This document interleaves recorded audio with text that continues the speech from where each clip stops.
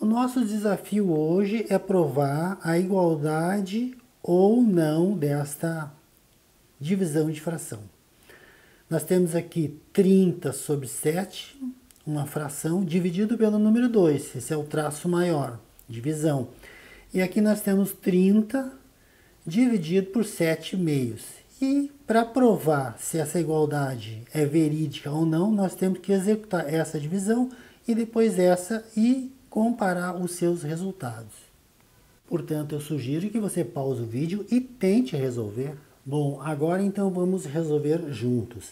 Eu vou destacar essa divisão aqui e vamos resolvê-la separadamente. E após, vamos fazer a mesma coisa com este aqui. E aqui estamos então, 30 sobre 7 é uma fração, e esse tracinho de divisão é da fração. Já este é a divisão dos dois números. Embaixo nós temos o número 2 que nós podemos completar com o número 1, aí fica uma fração aparente. E como se resolve? A gente copia o de cima, como está, 30 sobre 7, e o outro a gente passa invertido, só que a divisão vira multiplicação. Então, invertendo 1 sobre 2. Aí está. Eu posso ainda simplificar esse 2 com esse 30. Divide por 2 dá 15. Divide por 2 dá 1. E o resultado final agora será, porque não dá mais para simplificar o 15 com 7. Então, 15 vezes 1, 15.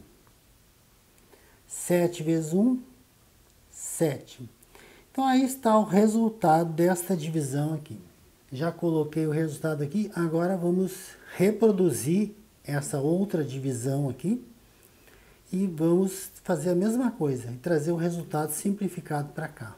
E aqui está então 30 dividido pela fração 7 sobre 2.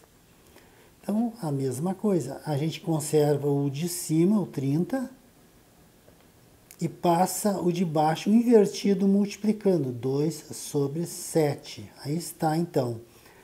A divisão vira multiplicação. E fazendo 30 vezes 2, 60 sobre 7. Aí está o resultado então. Agora fazendo as comparações 15 sobre 7 e 60 sobre 7. Não são iguais, são diferentes. Portanto, isso é falso.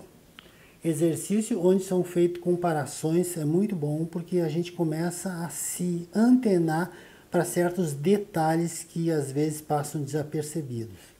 Caso tenha gostado do vídeo, clique no positivo, inscreva-se no canal se ainda não é inscrito e ajude a divulgar esses vídeos entre seus colegas. Desde já eu agradeço e estou contando com vocês.